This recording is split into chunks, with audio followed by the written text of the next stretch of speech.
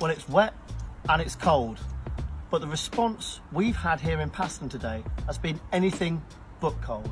In fact, it's been scalding hot because we found people so excited about the prospect of getting Brexit done and having a Conservative MP here in Peterborough.